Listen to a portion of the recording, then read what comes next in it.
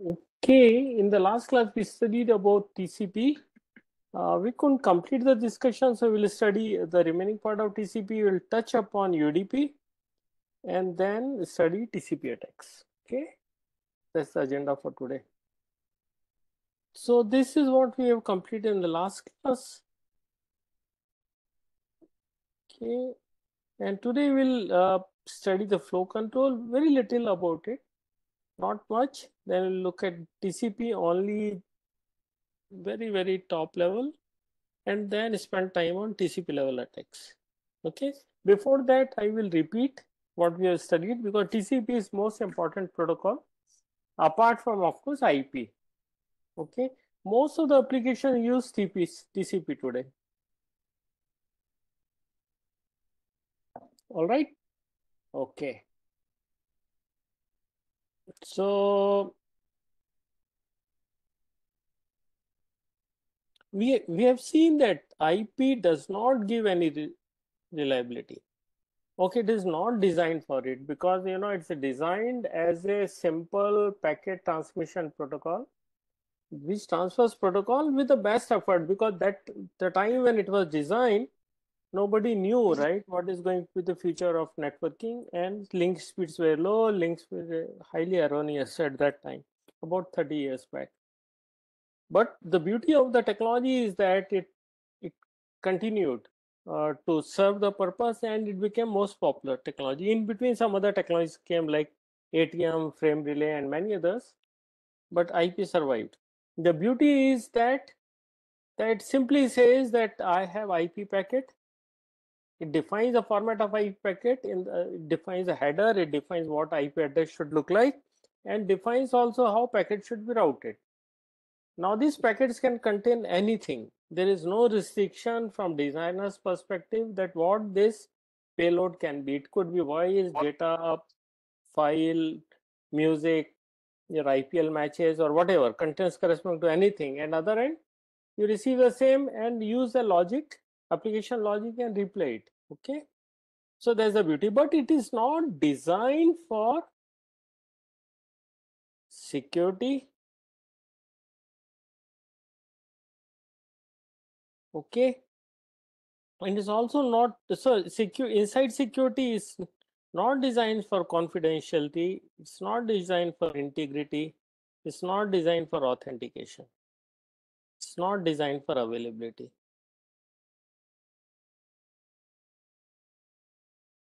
not, availability is essentially uh, you can say reliability. Okay? So none of these features were thought of when it was designed and that also is a weakness of ip protocol. Some may consider this a strength of ip is that can it can carry anything right? Had they designed all security levels inside things ip might not have become so popular all right? Like your pst and phones etc they are designed for security but very restrictive in nature right? Okay then we looked at the concept of uh, ports. Because you know ip address gives address of the machine. Okay? Okay within machine there are many browsers many applications right? within a browser there are many windows okay you in, in a browser you open multiple windows and each is communicating with different servers. Okay so so there must be way to when the data is coming to machine it should be routed to appropriate window. For example there are multiple windows are there in a browser. Or there may be some other application like email application. So data is just nothing but ip packet right? That may contain that contains tcp or udp it has got to go to appropriate app or process, right? And that is done through ports. When you write a new application, then you know it will use some of the ports, okay, which are free at that point in time. Okay, all right. So we have seen that we have demultiplexing when IP packet comes this way, it has got to go to one of the multiple processes, right? And when multiple processes are creating traffic, they have got to go on the same link but ip packets may be uh, different right for each one of these it will go over the same wire. Okay, that's called demultiplexing. So again, ports are used to do multiplexing and demultiplexing, right? And we have seen the concept of then uh, socket. Socket is nothing but I combination of IP and port. In order to define a TCP connection, we need IP address of client machine, port number of client machine, IP address of destination machine and port that is being used on the other hand. And of course, because ports are used for TCP and UDP, you have to also define the protocol. So these five things, IP address of the source machine, IP address of destination, and port address of source machine, port address of destination, and TCP slash UDP defines very specific connection between two machines. All right? So we have seen that. All right. This ex this shown here. Same thing is depicted here. Okay? And then we have seen the sockets for uh, tcp is different from sockets for udp if you're interested to learn more about it please uh, read it from the book Any book on networking will cover this, all right? So we have to create a socket, send and receive and close the socket. All right, then we started discussion about, once we learned about multiplexing, demultiplexing, we learned, we started learning about TCP. Okay, all right. The TCP, uh, sorry, transport layer, transport layer is basically two pop popular protocols at this level are TCP and UDP but there are many others right? But tcp udp are most commonly used. Okay and then uh, it so only common thing about this is that they provide end-to-end -end service and both use ports for multiplexing demultiplexing right? Okay. Now application need not to worry about uh, you know how to create ip packets etc etc right an application has just the data to send, it can create data either as a byte stream, stream of bytes, okay, or it can create as a block of data. Okay. All right.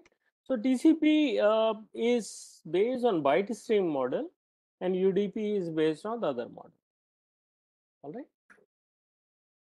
Okay, all right. So what happens is that TCP uh, data comes from uh, application, it goes into as a stream it goes into a buffer and then from that part of that data is taken and put inside a TCP packet. And then appropriate source and destination headers are added and few other control fields are added and sent. To next layer which is IP layer IP layer puts its uh, header and then send it to data link layer and then it goes from one hop to another hop. Okay? All right? So we have seen all that Okay, the TCP says that everything in between is unreliable and we have to just create reliable service over unreliable network. When we say reliable service, then we'll have to think of many things, right? I mean, packets loss must be recovered. So packets can be dropped by IP, right? So it has to recover from packet loss. Then out of sequence, packets may arrive because IP does not say packets will arrive in order, so sequencing of packet is required. All right. Okay. All right. So these points we have seen, right? All right. Now, then we have seen that it provides, of course, reliability, ordering of packet, and byte stream abstraction. Okay. And TCP node is point-to-point -point network between two endpoints. TCP will run. TCP will not run on intermittent routers. The routers in between will not, will only look at IP because their role is only to route the packet. They will look at only IP address. Beyond IP,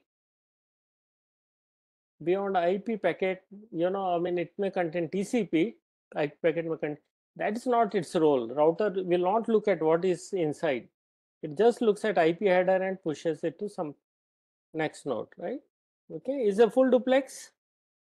It means that between A and B, data will communicate both ends. It cannot be one way. Why it can't be one way?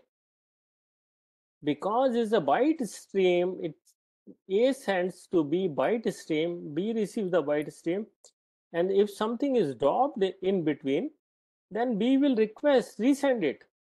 So it means that data has to go, this request data or control data has got to go from B to A as well, right?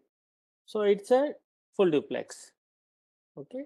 And then cumulative ACKs, right? Your mother sending five packets of, you know, sweets.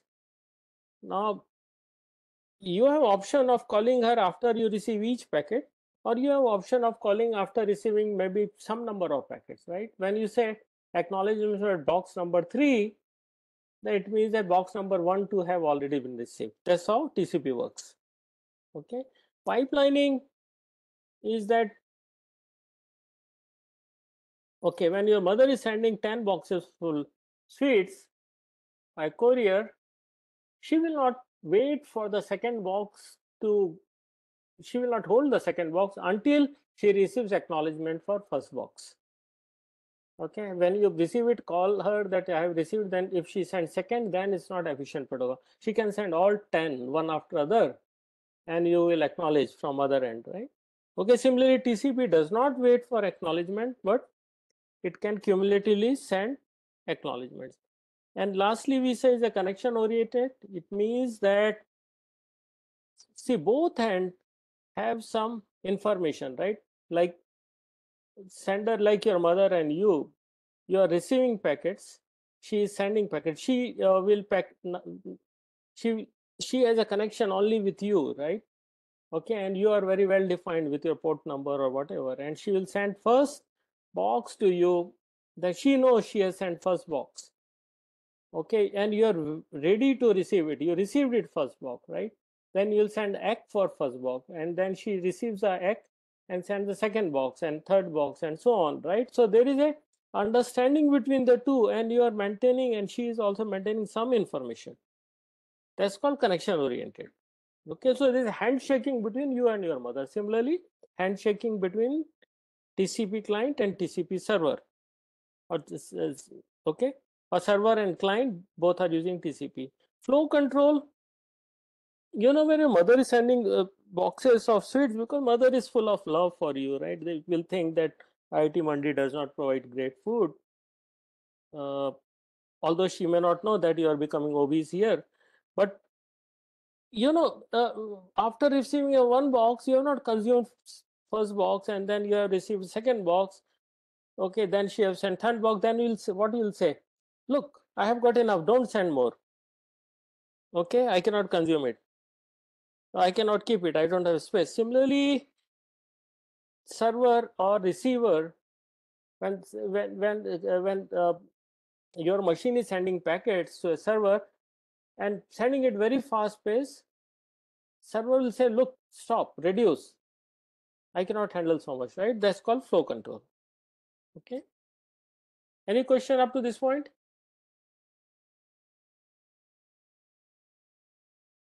No? Monologue?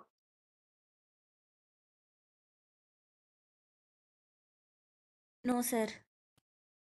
Okay, all right. Let's move on then. Okay.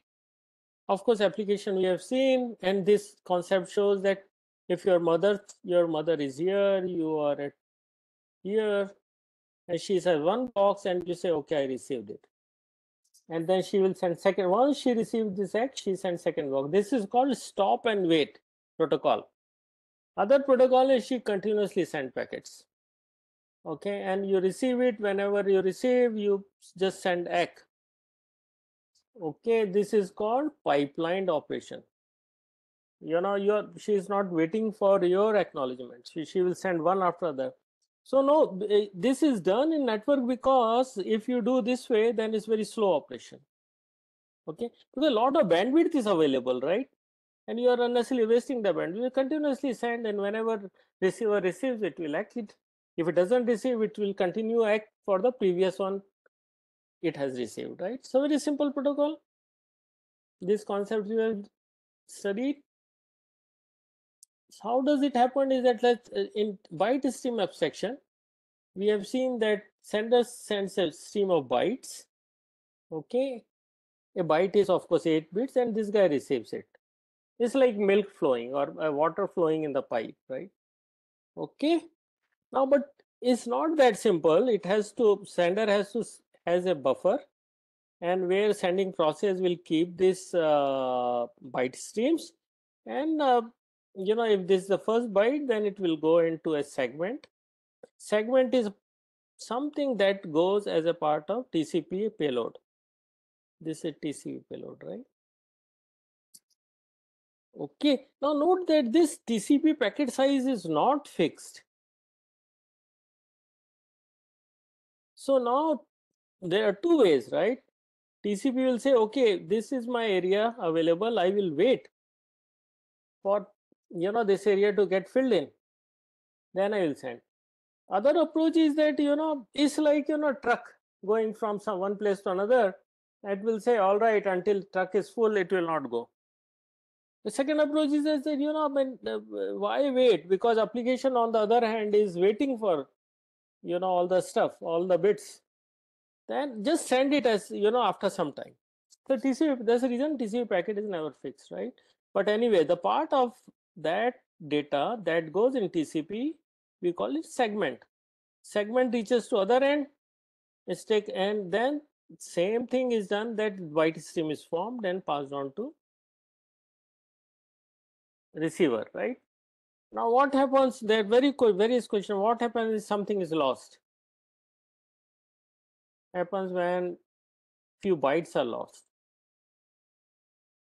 How do you how do you know about bytes being lost, right? Okay, all that things are important, and then we have to work on that, right? So now the byte stream model says that application generates stream of bytes. It uses TCP, so these bytes go as a payload of TCP packet. It goes to IP so whole TCP packet goes into IP packet.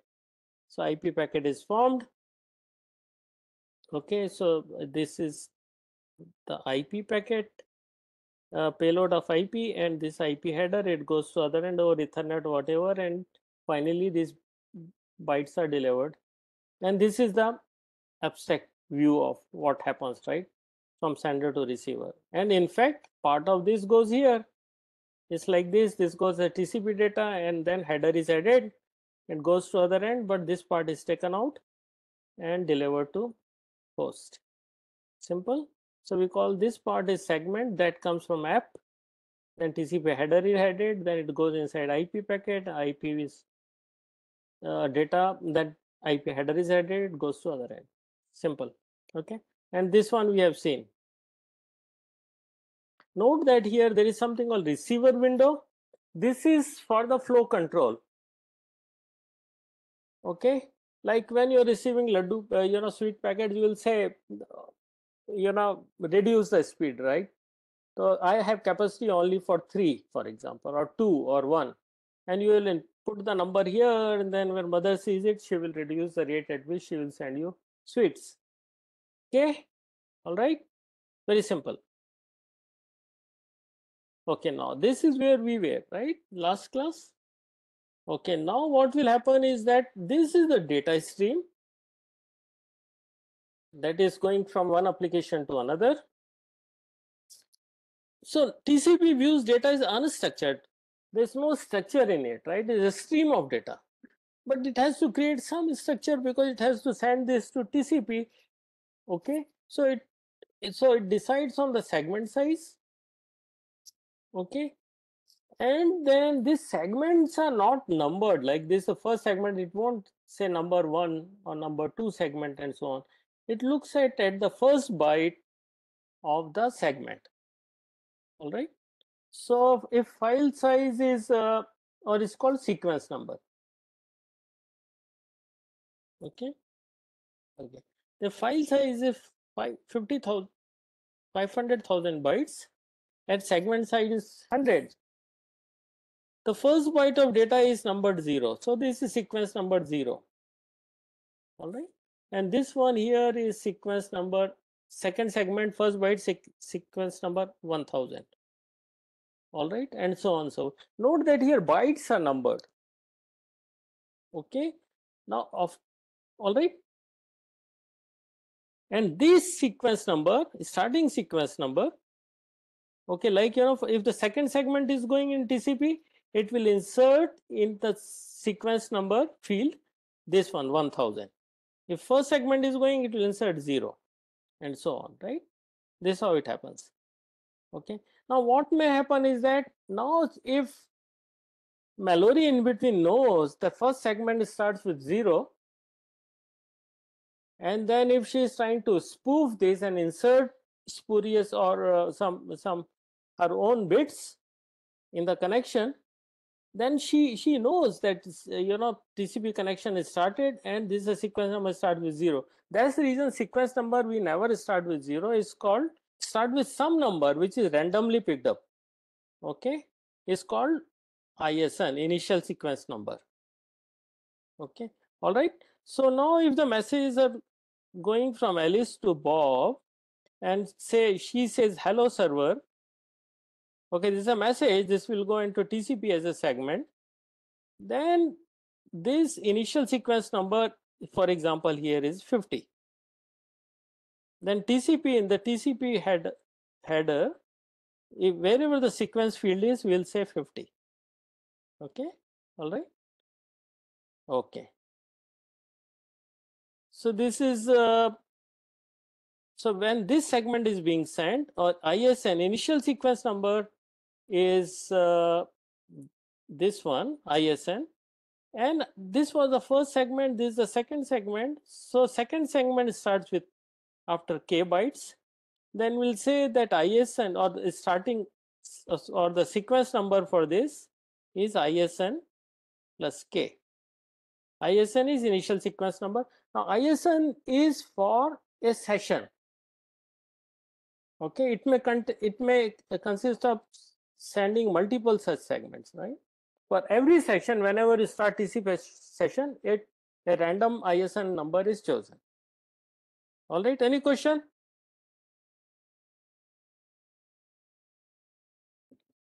All right.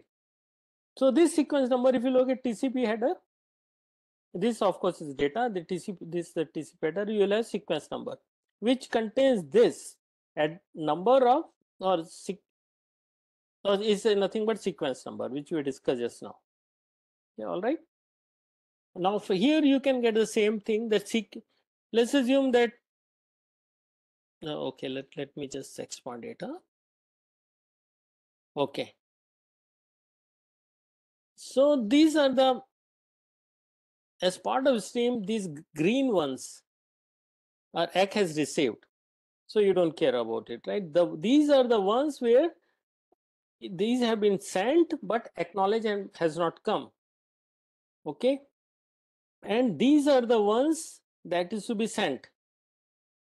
Blue ones are to be sent right? Okay? Now the sequence the window size of course this. Okay? Because now this is the maximum number of packets you can receive when your mother is sending data right? Okay now this for this acknowledgement has not come, so window will not move now. So now the ISN, so sorry, the sequence number will be this because you have to send this now. All right. All right. And acknowledge, you know that there is something called acknowledgement field also in TCP that will give the acknowledgement of the one here. It basically says that now I am expecting the next number. It has received all green ones the last number plus 1 is the something that's expecting now. Okay? That's the theory. Okay?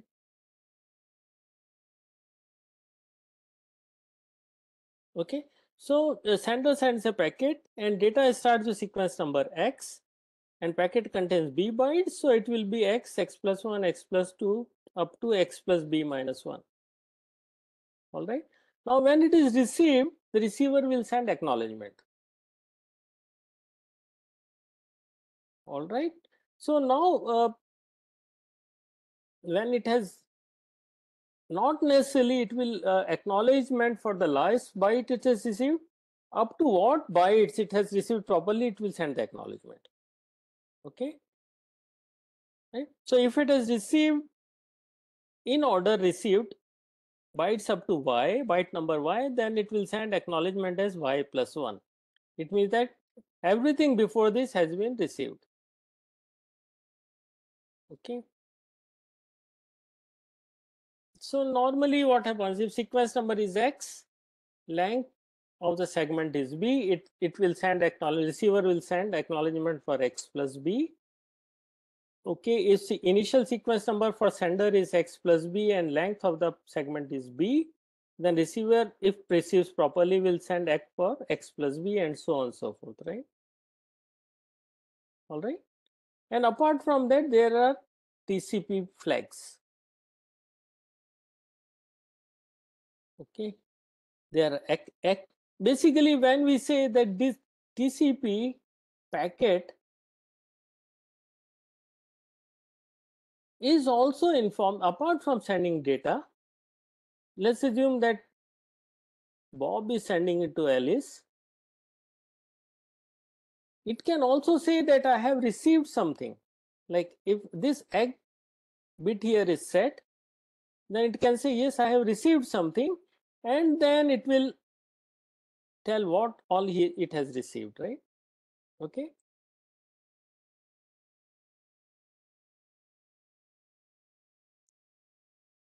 Okay, all right. Yeah. Then there is second flag is called SYN.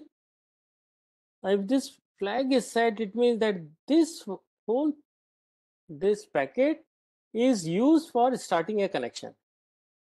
When two ends want to finish the communication and say that let's now close, this flag is called FINS flag is set.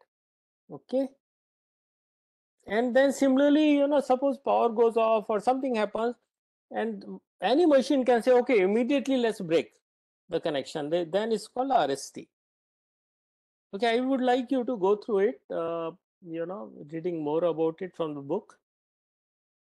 Okay? So tcp connection is basically three way handshaking. So and then uh, is uh, tcp connection for example is created between ip machine at ip address a tcp port 1 to destination machine I, which has ip address ipb and tcp port b so now we'll have to create first connection, then send the data and then close the connection. Okay. So it's something like this. The client chooses a sequence number X, which is a random number. Okay. Now because it's creating, it's starting a connection. Then it sends SYN or synchronize packet to server. This is the client, the server it sends a SYN packet. It essentially means what? This flag is set here. Okay. Okay. And then it defines a sequence number X. Where is the sequence number flag? This one. It sets this one as X. Server will receive this. It knows that the client is trying to establish a connection okay it will respond back okay i am ready to accept the connection it will respond with back with SYN-ACK. Okay, SYN-ACK is another field here. Okay, in TCP, one of the uh, okay, just a minute.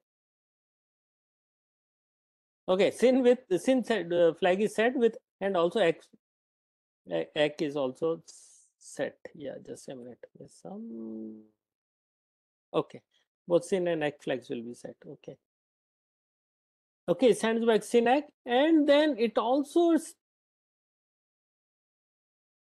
randomly selects a starting connection because you know between the two and one connection this way another connection is other way right so it will also choose its initial sequence number y and now it acknowledges that has received sequence number x and says that x is for x plus 1 it means that now i am expecting a packet coming from x plus 1 okay? And then when client receive this it will send x that now okay, of course I accept your sequence number. The next packet I will receive will be y plus 1 and I thanks for accepting the sequence number my sequence number. So next packet that I will send the first byte will have number x plus 1 okay this is how it is. Any question? Now the connection is established.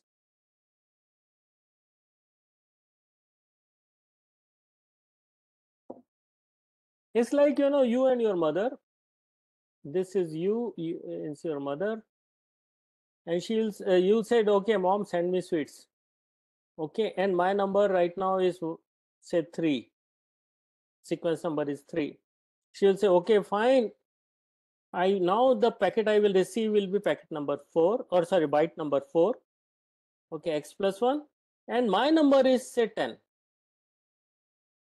okay then you will send okay fine. Uh, i am acknowledging that now please start sending something from number y plus 1 or 11 and so on right? So this is how it works. And then data transmission can start. Okay any question?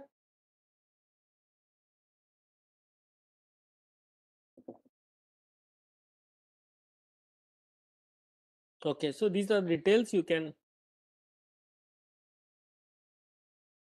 look at it okay. Now what will happen? Once this connection is done okay first phase was connection setup that we have seen right in previous slide. Now data communication starts. Let's look at in detail. Okay so what will the first one? Client will send the data whose length is a. Is a segment data segment with length a, it means the a bytes are there. Okay? And then its initial sequence number the first byte will have address because we agreed for x is initial sequence number. Its sequence number is x plus 1 so this byte has sequence number. This, this sorry this stream is starting or this segment is starting with number x plus 1 this byte has number x plus 1 and it is acknowledging y plus 1 now you send something server will start sending from y plus 1 onwards right? Okay? Because a is sending segments in that this direction b is sending or server is sending segments in other direction. So now this server will send a data with segment size of b and initial number of that is y plus 1 okay a size is of course b b bytes. Okay? All right. And it is echoing what? X plus 1 plus a because it has received all this correctly. And it's for x plus 1 plus a bytes right? Okay? And so on so forth. So this way now it will send another set of packet another segment with size data length c and it will ACK for it has received this segment from here. The ACK number is y plus 1 plus b. And and then so it's checking for that and so on right? So in this way it will go on. Okay and if something is lost in between if something is lost then the recipient will not send ACK for the last received one. Okay because something in between is lost. Okay so it so if server does not receive the ACK although it has sent the data so it can find out that I am receiving ACK for previously sent byte so will, then server will send bytes from the last correctly sent byte as per receiver onwards. Okay? All right?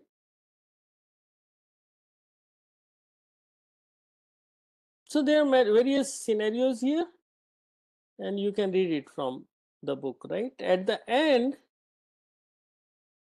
when your TCP session between you and server, your machine and server is end, then there are two ways to uh, close the connection. One is using fin, uh, when fin uh, flag is set, Okay, and second is by immediately if connection is to be aborted, then RST flag is to be set.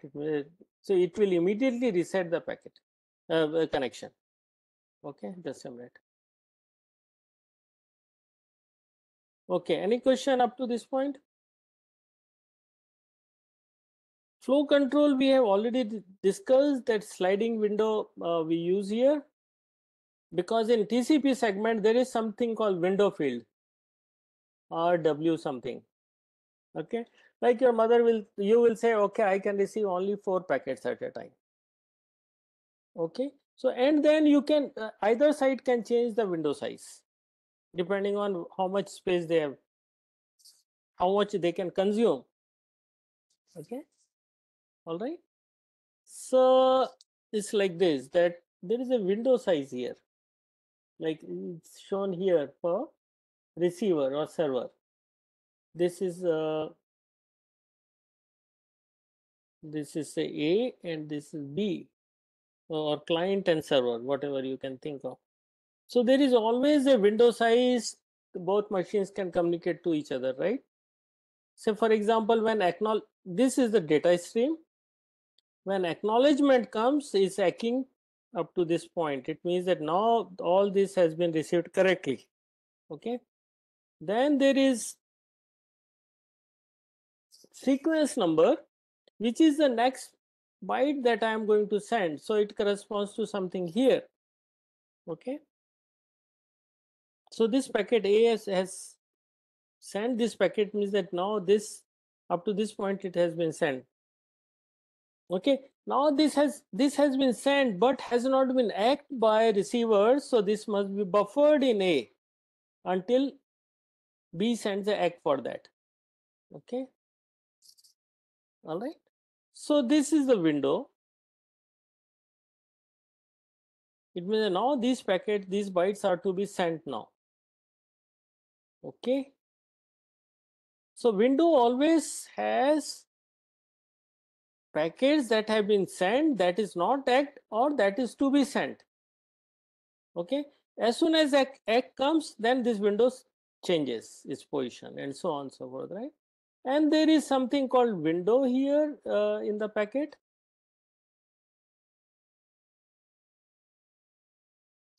okay uh, which says that how much can be it defines the size of this all right so now sender cannot send data beyond this until it receives acknowledgement. As soon as it receives acknowledgement, this window shifts. Whereas these are the byte stream. Okay, so it works something like this. Up simulation. So this is A, other is B. A has sent okay multiple segments okay and then ACK comes okay so all three have been received correctly so this window shifts now all right.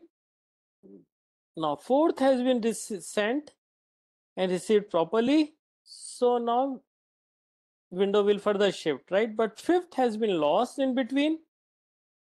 And then uh, the sender doesn't know the fifth has been lost right? Okay and it will then send six and seven. So you note that if you go back note that for six and seven window doesn't move. It remains the same. Okay. Now from that how does this know that a know that you know it has to resend packet number five uh, segment number 5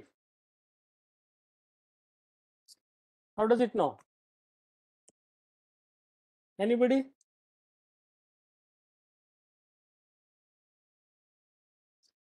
because this guy will not send ACK. Okay, B will not send ACK, right? Okay, so or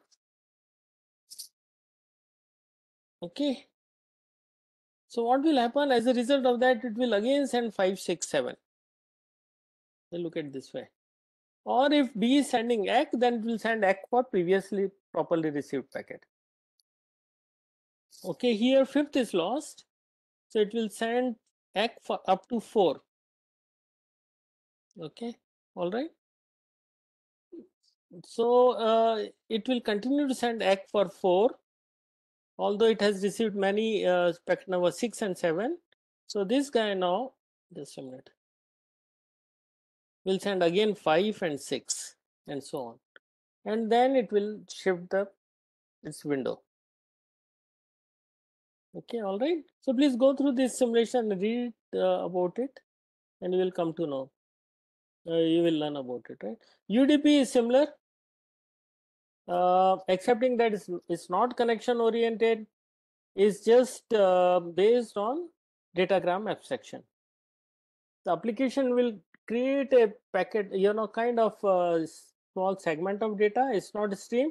It will pass on to UDP layer. UDP layer will put this in its uh, packet and send it across, right? So only thing UDP does is that defines ports. So that's it, right? So there is no reliability, there no ordering guarantees. It's a best best effort. It's very similar to IP. It's just IP plus port numbers. That's it. So it's a very fast because there is no three-way handshake similar to TCP. Some application like video streaming application may want it. Okay, attacks on UDP is very simple because there is no sequence number. So attacker just can create UDP uh, packet. It has to know just source port, destination port, source IP number, destination IP number, and just send it. It will be accepted to other end. All right. Now next 10 minutes, let's look at what are the attacks that are possible onto TCP. Okay. The lot lot of attacks are possible on TCP, right? First thing first is that everything is going unencrypted, right? So this is a TCP packet. Okay, this is the header. And this is a payload. There's nothing but stream or segment, stream segment. Anybody can change data here, right? Mallory can easily change data here. So man in the middle attack is very simple. Okay. Not this what TCP header contains that can also be changed. Okay. So there are large number of attacks are possible. We'll study only these three today. So we don't have enough time. Okay. The first attack is very simple attack. is called SYN attack. Now this thing we have already studied. Three-way handshake. Okay. So what will happen is that this is a normal process. This, this is a client and the S is server client when it wants client wants to establish a connection it sends SYN and now this guy server here will store you know all the data corresponding to this. Because you know this is a state machine. Okay? So it will store who has sent me like uh, all this data like ip address of received packet port number of received packet destination number destination IP number, destination port number, all this stored here. You know, it's a, its own database or it's a data structure. Okay, and then send this ACK that we have seen that we do, and this guy server will ACK it, right? Now it's a connected. All right. Now up to this point when ACK is received, the data will remain here in this data structures and then it will move to some other place. Okay? Now that thing where it will be for half established connection data remains in some data structure called SYN cache the one which we discuss here. Okay?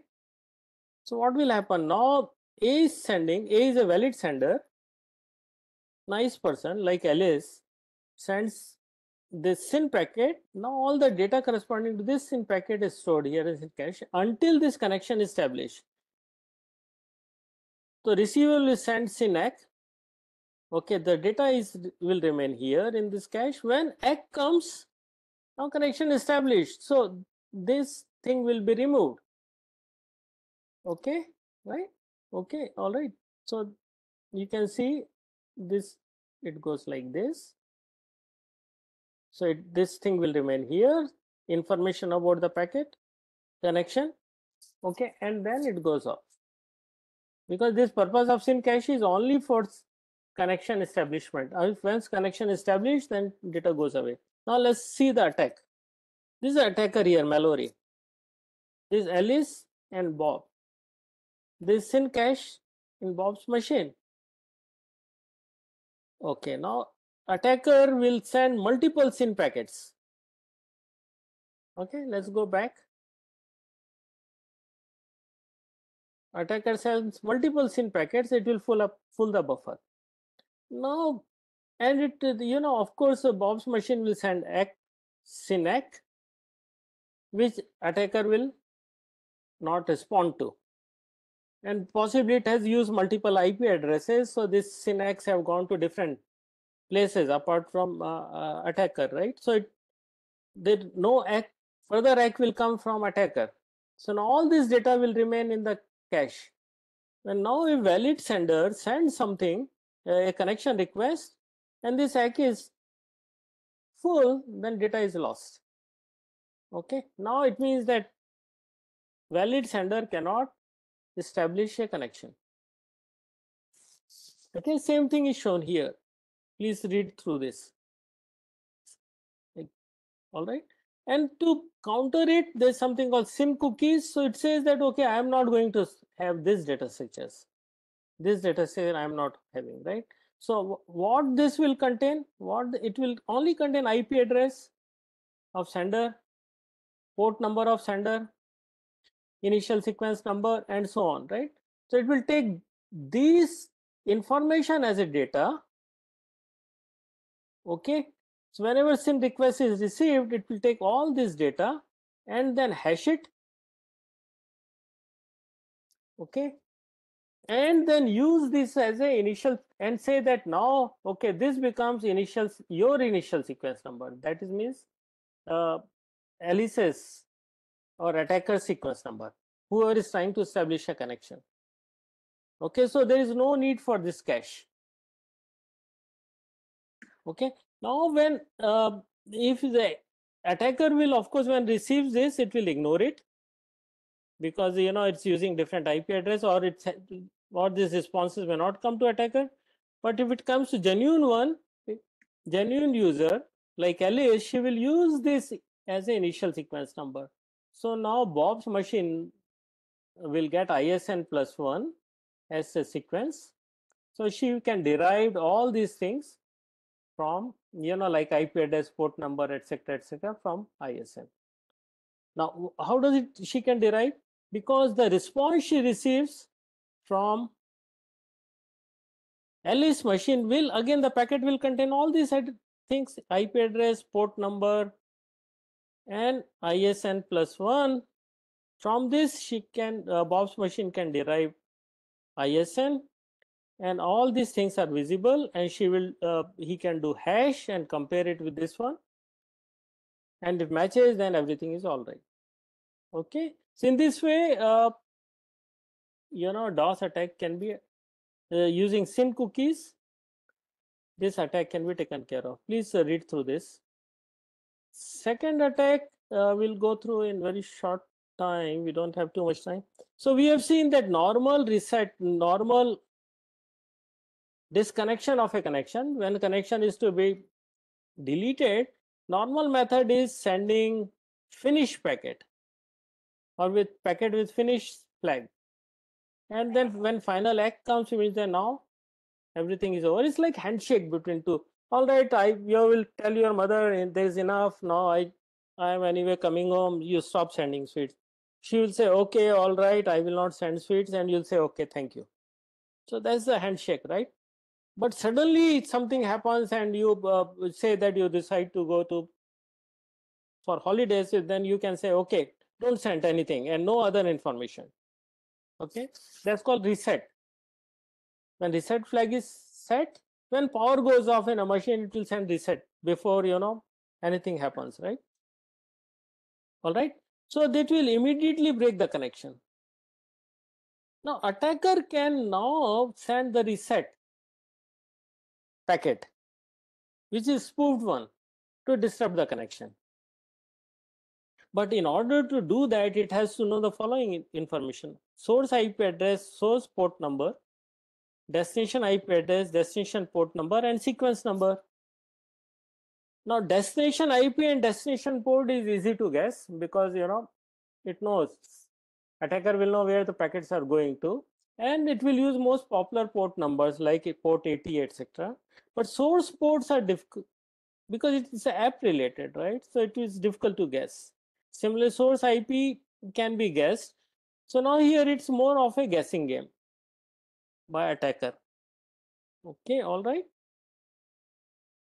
Similarly next attack is hijacking attack where where attacker wants to put his spurious packet inside this flow of packets. It may want to insert its own packet right? Okay for that again it needs to know source ip address source port number destination ip address. Destination port number sequence number. so again it has to guess. Okay and then it can insert right? So if it's not able to guess properly and it says that okay my initial sequence number is x plus delta okay. And if delta is reasonable it comes within the window receiving window then this will be accepted as injected data by the receiver. And then it will fill the remaining ones which once you know sender sends the packets and then it means that now this data is corrupted. All right? All right? So now uh, mallory can hijack the session here all right okay. So there's a summary. Tcp is very well designed protocol. Most of the applications use it. Okay of course what we have studied is very simple version of tcp and more advanced version more efficient versions have come in. Okay uh, how is little complex because the connection oriented both ends have have got to maintain the state information. And one of that is state information that uh, receiver uses is uh, uh, for you know when connections are to be established or half established is uh, SYN cache. And this SYN caches can be manipulated by 2d by sending multiple connection requests such that this cache becomes full. And once this becomes full genuine connections cannot be uh, established right and then there are other attacks that we have seen using reset packet okay or inject the spoof or spoof the you know some malicious contents in between a sequence of packet that's called TCP session hijacking. So that's all we have studied today. Any question?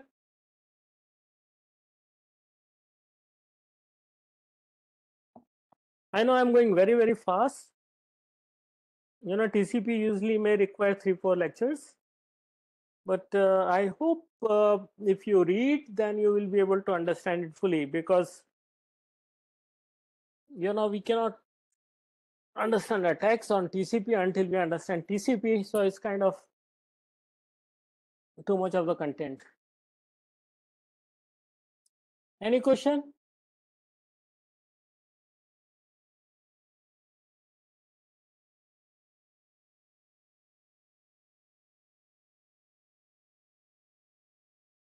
Okay then, thank you.